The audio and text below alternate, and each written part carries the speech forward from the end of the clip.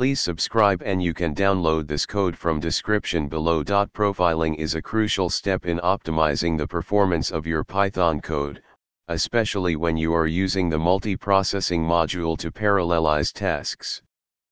Profiling allows you to identify bottlenecks and hotspots in your code, enabling you to make informed optimizations. In this tutorial, we will explore how to profile a Python multiprocessing pool using the cProfile module and provide code examples to demonstrate the process. Before we get started, make sure you have the following prerequisites in place. First, you need to import the required modules. You should have a function that you want to profile.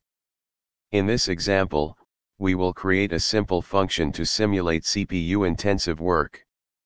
To profile a function within a multiprocessing pool, you'll need to create a wrapper function that takes the arguments, calls the function to profile, and returns the result. This wrapper function is necessary for the cProfile module to work correctly with the multiprocessing pool.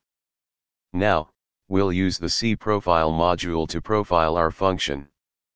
We'll execute the function using a multiprocessing pool and then save the profiling results to a file.